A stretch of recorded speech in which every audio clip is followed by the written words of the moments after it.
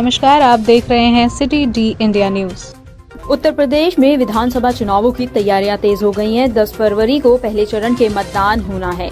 इसके साथ ही सभी पार्टियों ने प्रत्याशियों का भी ऐलान कर दिया है। राजनीतिक उठापटक के बीच चुनाव जीतने के लिए राजनीतिक दलों ने पूरी ताकत झोंक दी है।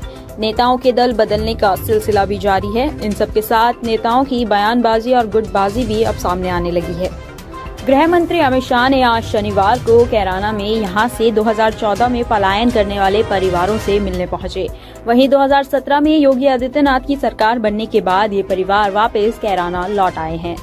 आपको बता दें, मीडिया से बात करते हुए अमित शाह ने कहा कि आज पश्चिमी यूपी के कैराना से भारतीय जनता का पर्चा बांटकर यहाँ से प्रत्याशी मरगंका सिंह के लिए वोट मांग रहा हूँ। कैराना में आज का माहौल देखकर मुझे बड़ी शांति मिलती है। पूरे प्रदेश में विकास की एक नई लहर दिखाई दे रही है। मोदी जी ने जो सारी योजनाएँ भेजी हैं, उसे योगी जी ने नीचे तक लागू किया है।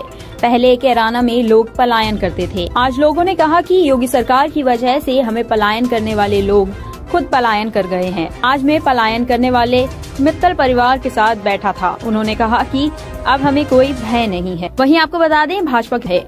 पार्टी का कहना है कि वो कम से कम इक्यावन सीटों पर अपने उम्मीदवार उतारेगी। वहीं पार्टी अध्यक्ष ललन सिंह ने शनिवार को इसका ऐलान किया था।